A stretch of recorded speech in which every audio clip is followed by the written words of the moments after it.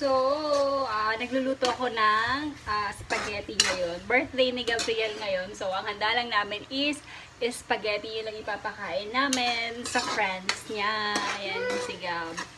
Ayun. Tapos, tinapay. Ayun. Walang budget ngayon. So, ayan. Kasi, ay, bumili kami ng ah, battery ng sasakyan namin. Kanina nahintuan kami.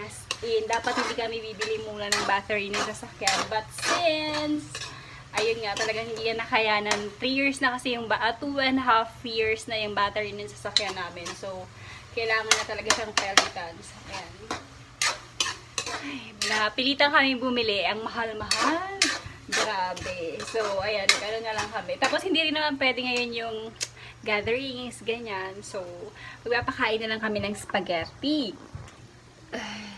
Yun kasi yung gusto ni Gabriela. Nakasombrero pa ako kasi kagagaling ko lang sa labas. kasi kararating lang namin. Ah, malapit na matapos yung ano natin, um, spaghetti. Ah, bumili kami ng cake. Ito lang yung cake namin. Ito, ewan ko sa... Si Papa actually yung bumili nito. Titingnan natin kung anong itsura ng cake. Sabi ni Papa, mocha na lang daw yung natira. Ayan, happy 9th birthday Gab Things from Papa, Mama, and J Things. Oh, ayan yon Ang cute. ayan, tapos ito yung candle. 9-year-old, 9-year-old na ang aking baby. My God, 9 years na kami walang baby na bago. Ganon. Tapos, bumili kami ng styro, paglalagyan ng spaghetti. Ito yun. So, hindi ko alam kung magkano to. Basta 10 pieces siya. Tapos, ito din. Hindi ko alam kung bakit ako bumili nito. Ah, spoon, dapat pala fork lang dapat, no? Ayan. Hindi ko rin alam kung magkano to. Basta bumili lang ako kasi nagmamadali talaga. Kasi, anong oras na? Grabe. Parang feeling ko. As in, talagang minamadali ko. Alas dos na ata ngayon. Eh, sabi, alas tres daw nila papapuntayin yung mga visitors nila. Akala mo naman ang daming bisita, no? Ayun pa! Pa!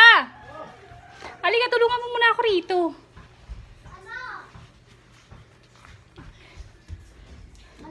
Si Papa, hindi ikaw. Eh, ano muna to? Saan naman? So, ayan guys. Ayan. Lalagyan ko po ng tinapay dito. Tapos, cake. Hindi pa kami nag-slice ng cake. Tapos, ito yung birthday boy. Ayan, pawis na pawis. Doon ka muna sa kwarto, anak. Ayan, lalagyan pa namin. Malinis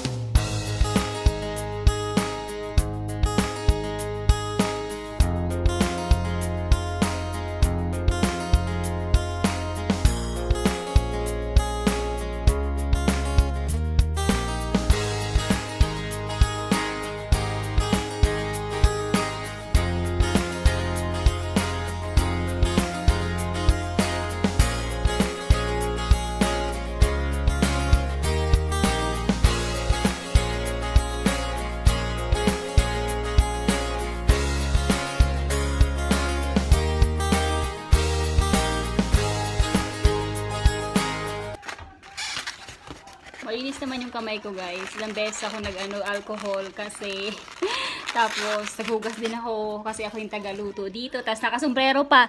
Ayan, nakasombrero ako ah, para talagang safe na safe.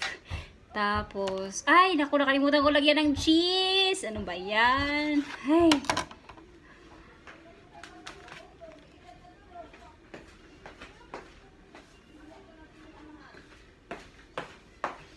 So, yung, yung iba, walang cheese. Teka, ito. Bumili ako ng malaking cheese na ganito, guys.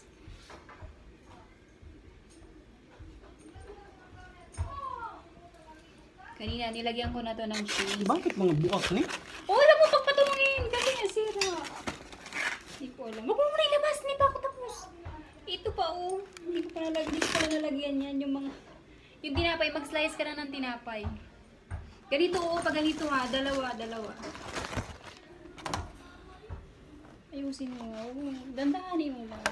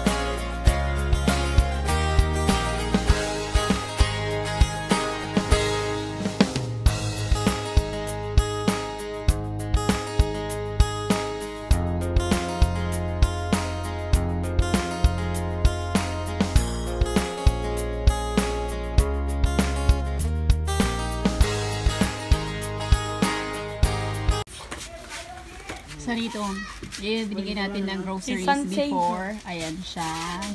Wala siyang mama. Natanong ko nga sa Manila. yung mama niya nasa Manila. Ayun, tapos basta, ayun. Ano ba itong birthday? Ano?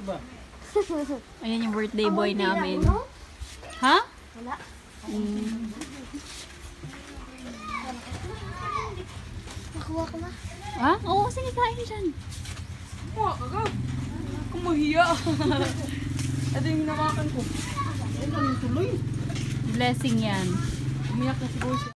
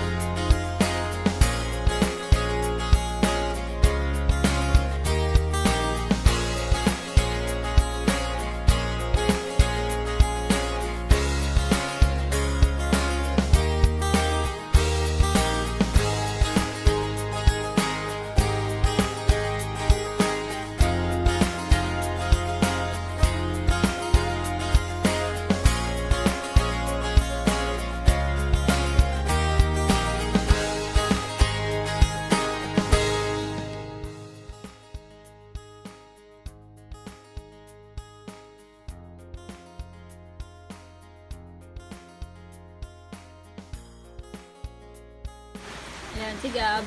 Feeling bisita din. Hana kung...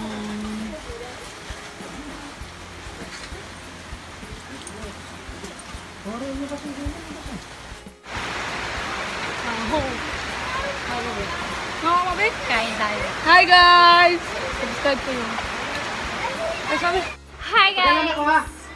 Natapos na yung birthday ni Gab. Finally. Ano, Ang sakit ng mata ko. Ewan ko kung saan ko naglagay yung aking Ah, salamin. So, Okay, okay. ayan. Ayan yung birthday boy. Ching! Oh, cute. Tapos guys, ang lakas ng ulan dito. So, ayan, ang daming tao sa may terrace namin. Ang daming bata. Meron kasing ano, nagpahabol na bisita ni Gab. Pero hindi talaga siyang bisita. Diyos ko. Ayun. Oh, grabe lakas ng ulan. Inulan yung birthday ni Gabriel. Blessing daw yung blessing. Ayan si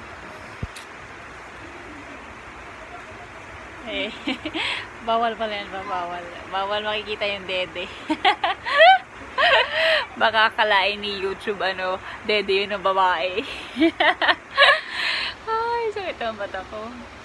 So, ayan. Yun lang yan na namin, guys. Ah, cake, tapos spaghetti. Kasi bumili ka. Akala ko medyo mag-ano kami na maraming ganda. Kasi, nga lang, napunta. Bumili kasi kami ngayon nga ng battery ng sasakyan. Tapos, bibili, kami, bibili pa kami ng uniform ni Papa na bago. Kasi, um, pag nakita nyo yung uniform niya ngayon, mukha na siyang ano, may sampung anak, ganyan. eh, dalawa pa lang naman yung anak niya. Ang pangit-pangit. Ayan. Ang ganda yung bagong uniform ngayon ni Papa. Kung makabili siya, pakita ko sa inyo. Papa-vlogin na natin si Papa doon sa office para makita nyo yung, at, yung ginagawa ng ating frontliner na Papa Things. frontliner na siya ngayon. Dati kasi, ano lang siya, wala siyang ginagawa, higa, kain, tulog, higa. Ngayon, meron na siyang ginagawa, guys. Hindi na siya nakalusot. Kasi maraming pulis na pinadala sa Cebu. Kasi, galing lang ba yun na Region 8 pa? Ah, okay. Ayun. Marami, marami.